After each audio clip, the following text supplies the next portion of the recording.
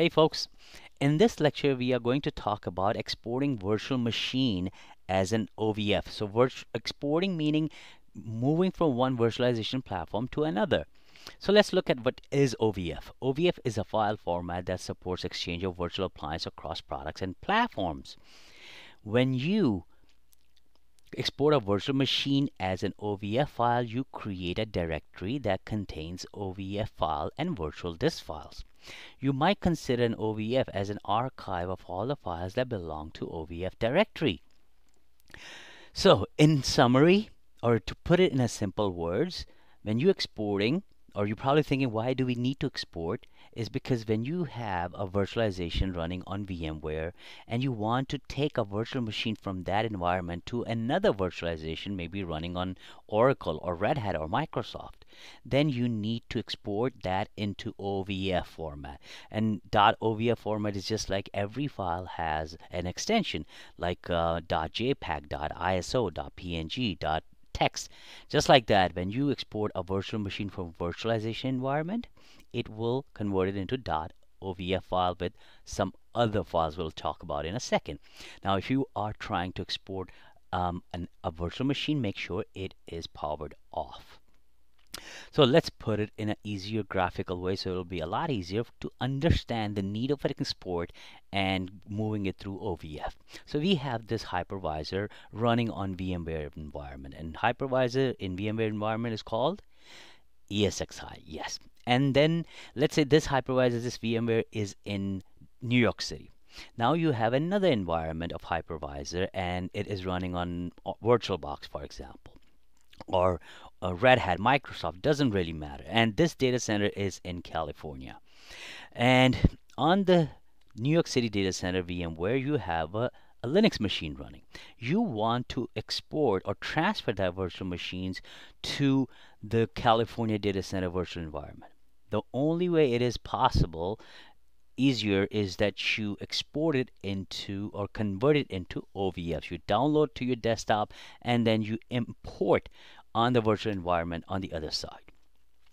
Now, the OVF, when you are exporting the file or virtual machine, it has these are the number of or the list of files it contains.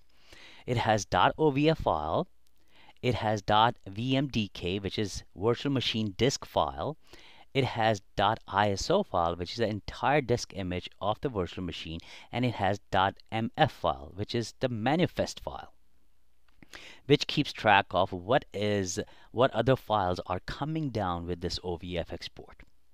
Alright, so I hope this has cleared up your confusion with exporting an OVF file. Now, if, or for those of you who have heard of OVF, probably have heard of OVA as well. So let's take a look at the difference between OVF and OVA. OVA stands for Open Virtual Appliance. It is a container that ha has all the VM export files, like VM export files are .ovf, .iso, .vmdk it is a lot easier to use OVA file when transferring to another computer. So an OVA is basically a tar file or a zipped file that has all these files together. So if you're transferring from one location to another, you don't have to transfer each file one by one. You're transferring .ovf first, .vmdk second. So you're putting all of that in a tarball or in a container, and that container name is going to be .ova. That's the main difference, nothing else. All right, so let's get right into our vCenter environment and let's see how we could export a virtual machine. So I'm going to log into my vCenter environment right here and we are going to look at Linux 2. Now Linux 2 before we export that I want you to go and right click on it go to edit setting and in the edit setting, you will notice that it has two disks, hard disk 1, which is 20 gig, hard disk 2, which is 2 gig. The reason it has 2 gig because this is this virtual machine, Linux 2, is a clone of this virtual machine, which also has 2 gig. But anyway, we wanted to make things simpler, so what I will do is, first of all, it is powered off, make sure it is. Right click, edit settings, and let's get rid of the second disk. Now you could export with two disks, three disks, four disks, as many disks as it has. It does not matter. But I wanted to have my transfer to take place a lot faster. So I'm going to go ahead and remove this disk and I'm going to go ahead and click OK. Reconfigure virtual machine completed. Beautiful. It says gone. You can also check in the hard disk right here. It only have one gig. Now let's go back and right click on this virtual machine. Go to template and click on export OVF template. Okay, in this um, wizard, it is going to ask you the name. If you want to change the name, you can, and the format is OVF. Now, if you notice right here, it is not selectable or not changeable, but the other versions of vSphere has the option to actually select and, and scroll down and select either OVF or OVA. But anyway, if you're not getting that option, you could actually use the tarball or VMF tool to convert that into OVA. So leave that all default for now and click OK. Okay, so the download of these packages have started. As you notice right here, export OVM template, uh, OVF package. The first package will come down is the VMDK. Click OK, save a file. Second one is linux2.ovf, save file and the second and third one is ISO image save click OK.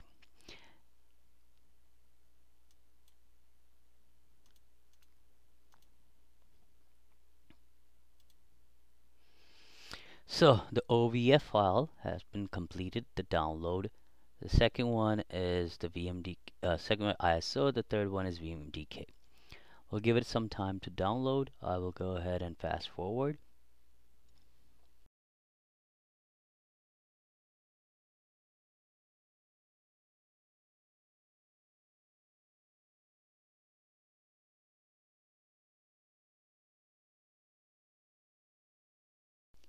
Okay, so as soon as the download of other files are completed, now you're going to get the .mf file at the end.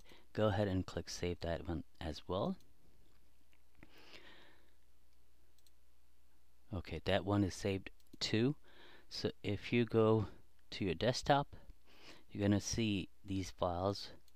This one, which is uh, VMDK file, the other one is ISO image, and the other one is OVF, and the other one is manifest file. So if you double click on it, I already have opened it before and you could open it in um, text uh, format or, or, text editor. You'll notice that it has information of VMDK OVF ISO. So now if you want to export this file to or sorry file has been already been exported now if you want to import this file to another virtualization platform you could open up another virtualization platform I have um, already installed which is Oracle VirtualBox. This is the one I have already installed. If you do not have this installed all you have to do is go to your in, uh, internet browser go to Google type download VirtualBox and then go to downloads and pick the one your platform is. If you're running Windows click on Windows and it will uh, download the .exe file and then once it's downloaded you could run it and it will install the VirtualBox for you. So let's go back. So this is my VirtualBox. Now in the VirtualBox go to File, click on Import Appliance and here it will ask you where is that file, the import OVF file located. It says please choose a file to import a virtual appliance from. VirtualBox currently supports importing appliances saved in the Open Virtualization flat platform, which we already have. So select this folder button. Go to the location where these download these files are downloaded. It is downloaded on my desktop, and pick the OVF file, Open Virtualization file. Click on it and click Open. Click Next. Now it's giving you all the information that actually came down with it. It is a guest operating system is Red Hat, one CPU, one gig of RAM, DVD, and all the hardware that it has to create. Click Import. Now this file is being imported as right now it's going to take a few minutes once the import is completely done then you're gonna notice in the back of this where I have my uh, VirtualBox window open, you will see the virtual machine that will be created. Oops, it's already done. That was fast. You see right here, this is that virtual machine that's created. Now, if I power on this button by click start, you're going to see this Linux machine is exactly the same machine that we have in our virtualization uh, VMware platform. So that's how you actually export, and that's the reason of exporting. And you put, export it in OVF, and then you import it in another virtualization platform. I'll see you in the next lecture.